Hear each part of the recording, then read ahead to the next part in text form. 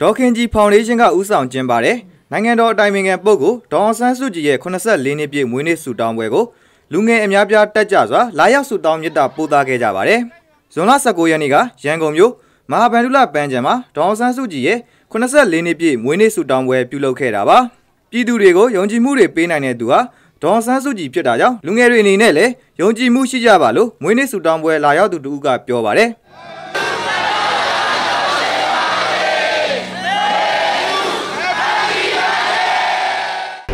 လူငယ်တွေအနေနဲ့ကြတော့ဘယ်လိုယုံကြည်ရပေါ့နော်ကိုကိုပေါ့ယုံကြည်လဲဆိုတဲ့ဟာနဲ့ပတ်သက်တာမျိုးတော့ယုံကြည်စရာကဘာတွေလဲဆိုတာမျိုးရရှိဖို့လိုတာပေါ့နော်။ဘာတဲ့ယုံကြည်စရာလဲအဲ့တော့ကျွန်တော်တို့ idea မှာ choice လုပ်ပြီးတော့ဘယ်ဟာကိုကျွန်တော်တို့ယုံကြည်ရမလဲဆိုတော့ဘေးကနေပြီးတော့ကျွန်တော်တို့ယုံကြည်စရာတွေကိုချပြမယ်ယုံကြည်စရာကောင်းတဲ့သူတွေရှိဖို့တော့ idea မှာအမေဆိုက one of them ပေါ့နော်။ဆိုတော့သူကျွန်တော်တို့အများကြီးချပြနေတယ်ကျွန်တော်တို့ယုံကြည်စရာတွေကိုချပြနေအဲ့တော့အဲ့ယုံကြည်စရာတွေကိုကျွန်တော်တို့ကစုပ်ကန်ထားပြီးအဲ့ဒါကိုကျွန်တော်လိုက်ယုံကြည်လိုက်ပါဒါအမှန်တရားပါအဲ့လိုကျွန်တော်ပြောချင်ပါတယ်ဟုတ်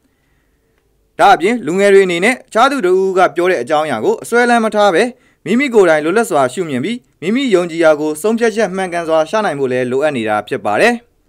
ဒါငယ်ငယ်လေးတွေကပဲရွေချက်ကပါလဲဟိုတယောက်တယောက်ကပေါ့မိသားစုပဲဖြစ်ဖြစ်တယောက်ကပြောလိုက်တဲ့မိုင်းတစ်ခုခုပေါ့အဲ့ဒီမိုင်းကိုအစွဲကြီးကိုကင်မနာနဲ့ကိုမဘက်ကိုလွတ်လွတ်လပ်လပ်မြင်ကြည့်လွတ်လွတ်လပ်ခံစားကြည့်ပြီးရင်အဲ့ဒီအပေါ်မှာလိုက်ပြီးတော့ဟိုဆုံးဖြတ်ပေါ့နော်ဥပမာဘာသာရေးဆိုလဲကိုက ဘယ်မိဘကမွေးဖွားတဲ့သူမလို့ဒီဘာသာကိုကိုယ်ရဆိုတာအထက်ကိုဟိုတစ်ခုခုပေါ့နော်ကိုကိုခံစားကြည့်လေ့လာကြည့်လေ့လာပြီးမှအဲ့လိုယုံကြည်တဲ့ဟာပိုကောင်းတယ်နိုင်ငံတော်အတိုင်ပင်ခံပုဂ္ဂိုလ်ဒေါအောင်ဆန်းစုကြည်ရဲ့အသက်84နှစ်မြောက်မွေးနေ့ဆုတောင်းပွဲအထိမ်းအမှတ်ဖြစ်လူအယောက်940ကဒေါအောင်ဆန်းစုကြည်ရဲ့ရုပ်ပုံကားချက်ကိုကန်ဆောင်ပြီးမနက်9:40မိနစ်မှာတံပြိုင်ဆုတောင်းခဲ့ကြတာလည်းဖြစ်ပါတယ်ခင်ဗျာ